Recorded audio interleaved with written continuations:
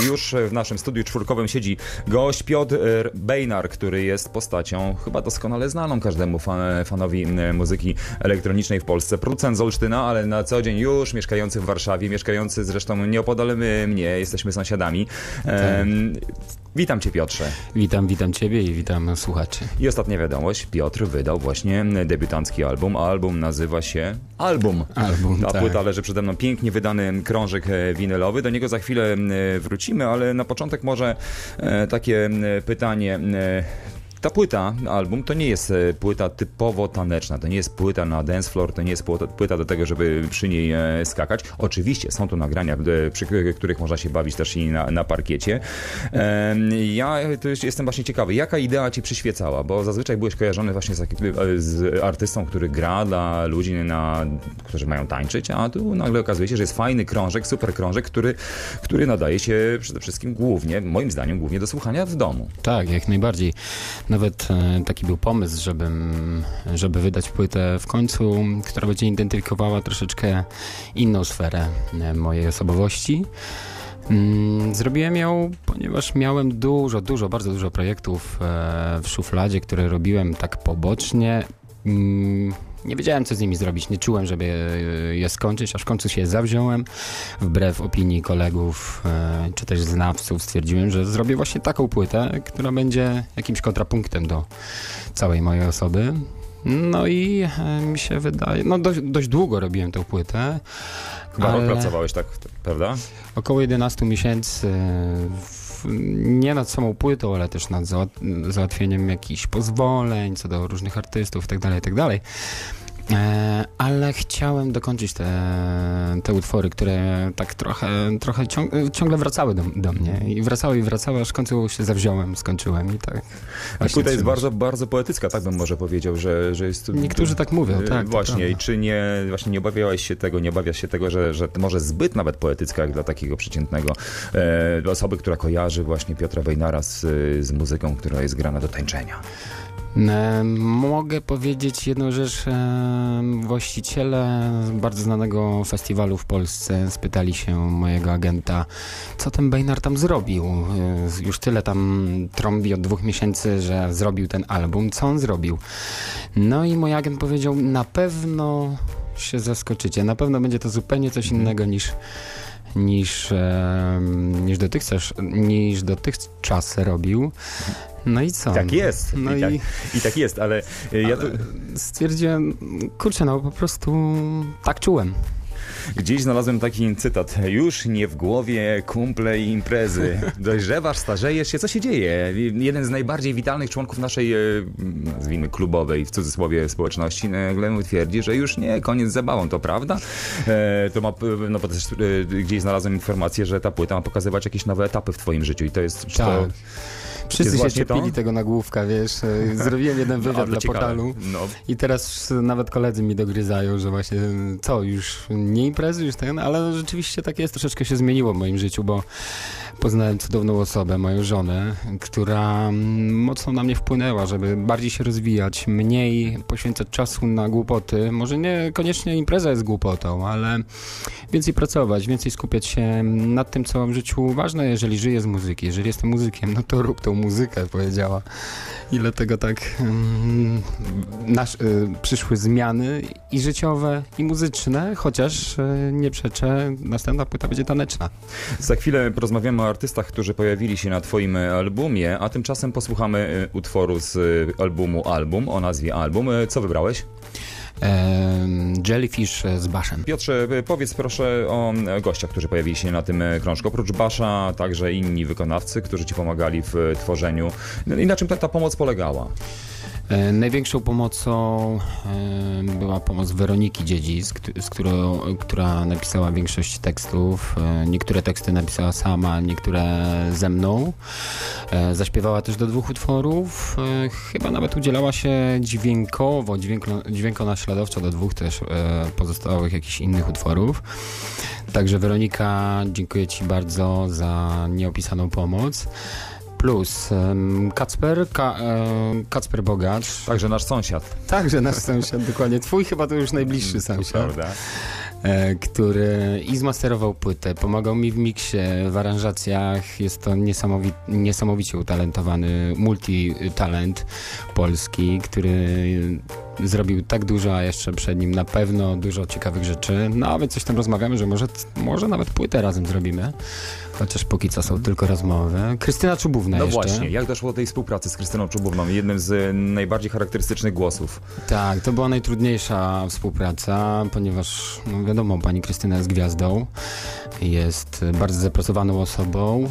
Kiedyś po Sylwestrze wpadłem na pomysł, e, zasypiając, że właśnie słuchając, oglądając program przyrodniczy, że to był chyba wspaniała rzecz. E, zaprosić panią Krystynę. Nie było łatwo.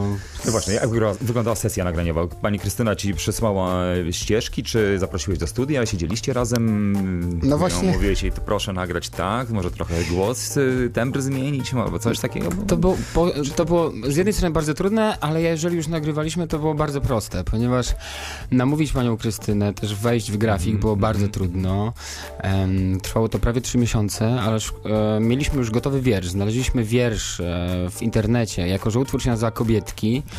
Znaleźliśmy wiersz w internecie z dość znanej polskiej poetki. Wiersz się nazywał Kobiety. Głównie o kobietach e, właśnie był cały wiersz. Jednakże ta pani się wycofała w ostatnich dniach przed samym nagraniem, kiedy się umówiliśmy z panią Krystyną. No i trzy dni przed już spotkaniem nie mieliśmy tekstu. No i wtedy usiedliśmy z Weroniką i napisaliśmy ten tekst w trzy dni. Mhm. Tak naprawdę w jeden dzień, tylko wiadomo, tam jeszcze dwa dni go poprawialiśmy. Panik i w momencie, kiedy weszliśmy do studia, e, który, które zasugerował e, pani Krystyny menadżer, po pierwszych dwóch słowach już wiedziałem, że to był dobry wybór i nagrała cztery tejki, cztery razy. Pierwszy był oczywiście idealny. Mhm. I to trwało tak naprawdę 10 minut, ale przygotowania do tego trwały 3 miesiące, więc... Ale efekt jest bardzo fajny, za chwilę usłyszymy. A powiedz mi jeszcze, co było najtrudniejsze w tym całym procesie tworzenia albumu? Jakie były takie momenty? No miałem dużo Miałeś momenty zwątpienia? O, oczywiście. Mm, I tu dziękuję mojej żonie za wyrozumiałość i za no niestety żyję z artystą, um, Lizawieta. I nie jest łatwo. Tak, czasem nie jest łatwo ze mną żyć. Ale już nie imprezujesz, to już jest plus. No, czasem się coś tam zdarza. Każdy dogryza, no. To przyjazne do, do, do, gry, do gryzienia. Najtrudniej było dokończyć to wszystko, mhm. bo niektóre utwory zacząłem 8 lat temu nawet. To były takie szkice, bardzo pierwotne szkice, ale wielokrotnie znajomi mówili, że to jest naprawdę dobre. W związku z czym dokończyć uczucia, które były wiele lat wcześniej, jest niebywale trudno, ale mm, wsparcie przyjaciół było najważniejsze. Więc chyba, chyba to kończenie tego utworu było najtrudniejsze. Piotrze, e, płyta, mam przed sobą Dziękuję Ci bardzo za ten krążek. Pięknie wydana płyta, ale tu widzę, jak czytam sobie, przejrzałem sobie bardzo dokładnie torba DJ-a, widzę, nie ma Mateusza.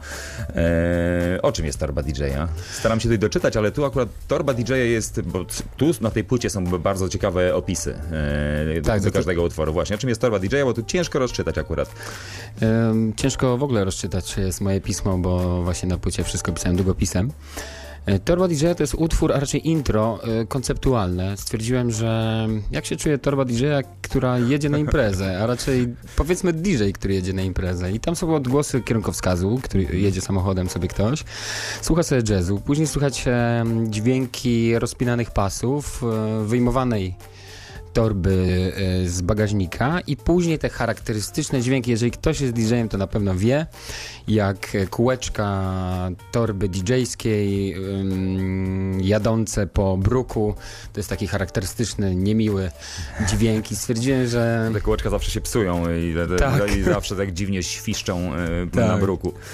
Stwierdziłem, że to będzie dobre konceptualne intro po prostu do, do albumu. Ale niektóre z tych opisów mm, można przeczytać, one są tutaj bardziej wyraźne, bo to pisałeś długopisem e, i jeden z nich e, wskazuje, że nie brakuje ci tu poczucia humoru na, w tych opisach. Otóż dedykuję tę pieśń żonie. Niestety nie mogła zaśpiewać, bo piekielnie fałszuje. Poprosiłem więc Weronikę, która okazało się również fałszuje. Tak, tak, tak. Moja żona Ma bardzo dużo talentów, ale niestety mm, talent wokalny nie, nie, nie został jej przekazany od twórcy.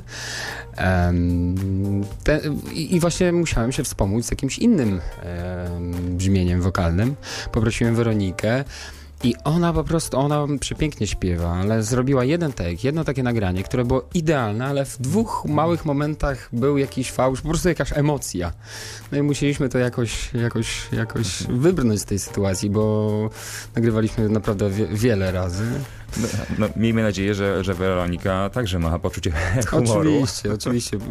W ogóle stwierdziliśmy, że to, ta płyta to będzie taka piękna podróż e, wspólnych przyjaciół. E, płytę nadałeś, e, wydałeś nakładem swojej własnej wytwórni Otakę. Ja jestem fanem nazwy, uwielbiam tę nazwę. E, czy, ciekawy jestem, czy, czy słuchacze wiedzą skąd ta nazwa pochodzi. Może wyjaśnisz? No, może starsi słuchacze wiedzą. Właśnie, starsi pewnie tak. Kiedyś nasz były prezydent Lech Wałęsa powiedział nie o takę Polskę walczyłem. E, później były też w dawnych czasach, latach 80. bodajże, e, telewizory o takę, tak, była taka nawet firma. Była kiedyś taka firma. A nawet jest w Japonii e, miasto przemysłowe o nazwie Otake. No, proszę. Więc też jest kolejne znaczenie. No ale polski polityk chyba był właśnie tym, który cię zainspirował do, do wymyślenia tej nazwy, która mi się bardzo, bardzo podoba. Masz też plany na stworzenie nowej wytwórni. Co będzie tak. wydawała?